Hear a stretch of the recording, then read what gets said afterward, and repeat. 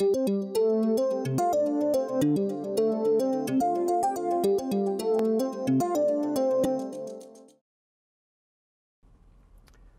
as one example of what we've named colligative properties, we can look at how the freezing point of a mixture or a solution changes with the concentration of that solution. So as a reminder, this is what, uh, let me finish labeling this diagram, but the, this is what the uh, temperature composition phase diagram looks like for, uh, um, in this case it's relatively proportional for uh, sucrose and water. So if I have sucrose on this side, water on this side, I form a eutectic at a relatively low concentration of sucrose in water.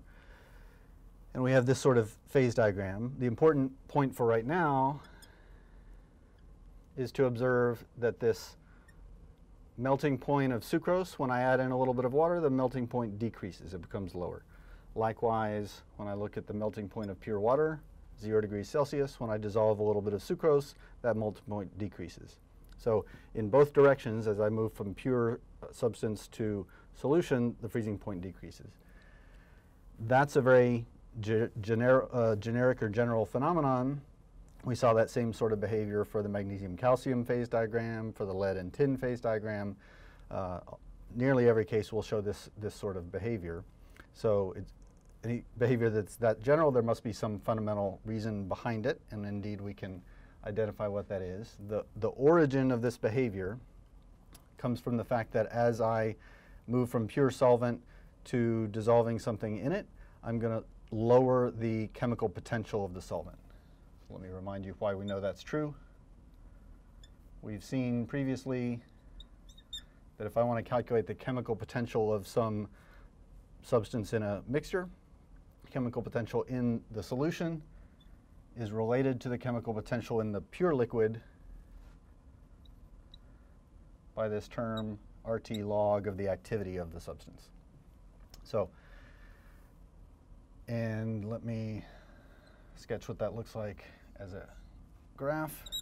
If I plot the chemical potential as a function, in this case, since we want to talk about solidifying or melting a substance as I change the temperature, I'll make this axis be temperature. So remember, that what happens to the chemical potential, which is the same thing as the, the molar free energy. The chemical potential of anything is the partial molar Gibbs free energy.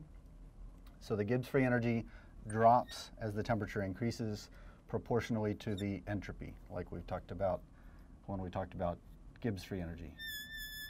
So there's chemical potential, let's say, of the solid phase. As I heat the solid up, its chemical potential drops. The same thing is true of the liquid. So here's chemical potential of the liquid phase, pure, oops, that's the wrong line, of the pure liquid phase. And I've drawn that as a steeper curve because the entropy of the liquid is a, is a larger value than the entropy of the solid. So it's, it's falling more quickly than the, than the chemical potential of the, of the solid does. So now think about what happens when I convert this liquid into a solution. I take my pure sucrose or maybe pure water and dissolve a little bit of something into it, make a solution. So as I, if the compound, uh, the substance I'm talking about is, is water, this is the chemical potential of pure water. If I dissolve something in that water to make a sugar water solution or some other solution, the activity of the water will decrease. So in a solution, the activity will be less than 1 in a solution.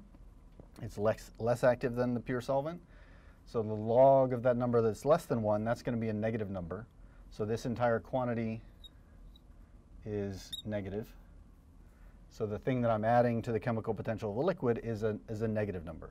So the chemical potential of the solution is going to be shifted downward relative to the chemical potential of the pure, uh, pure liquid. So before I draw that curve, let me point out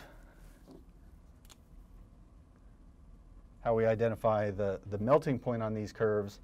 This point where the solid and liquid curves cross, that's the temperature at which the chemical potentials are equal to one another. So that would be the melting point, temperature of fusion.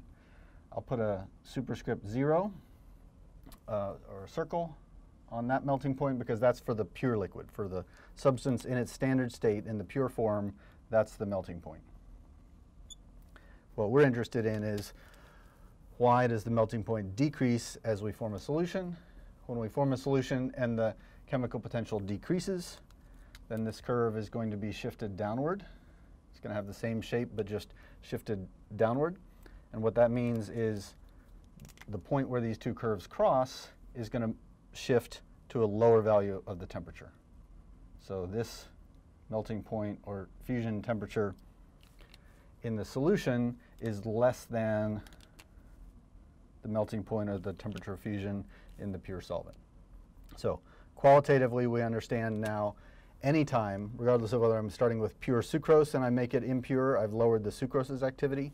If I start with pure water and I dissolve some sucrose in it, I've made the water less pure and I've lowered its activity. Anytime I lower the activity, I'm going to lower the chemical potential, and that's what causes the melting point to decrease in both of these directions. So at least qualitatively, now we understand why uh, dissolving a solute into a solvent will decrease the freezing point. The next step will be to take that a little further and examine this equation and see if we can understand quantitatively how much that freezing point will decrease as I prepare a solution.